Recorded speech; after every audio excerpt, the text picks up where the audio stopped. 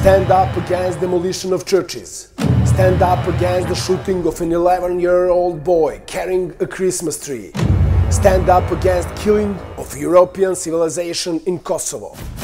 Bill Clinton and Madeleine Albright bombed Serbia and took away its sovereignty in Kosovo in 1999. The reason was the alleged persecution of the Albanian population. But the facts are completely different.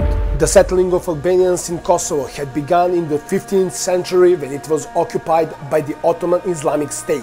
The Ottoman census shows that 13,000 Serbian families had lived in Kosovo, while there were only 46 Albanian houses.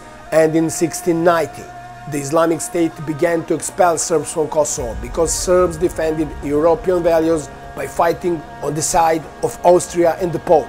Despite the long-term persecution, a document from the Vienna archives from 1896 shows that Serbs have majority in the Sanjak of Pristina, 112,000 versus 50,000 Albanians. After Islamic State oppression, Hitler and Nazis occupied Kosovo. After Hitler's action in 1948, Albanians got absolute majority, 68% of Albanians versus 27% of Serbs. Bill Clinton completed Hitler's job, for which he received the monument in Pristina. After Clinton's bombing of Serbia and the recognition of the terrorist Islamic State of Kosovo, only 5% of Serbian Christians live there. Call on your government to withdraw the recognition of the false state of Kosovo.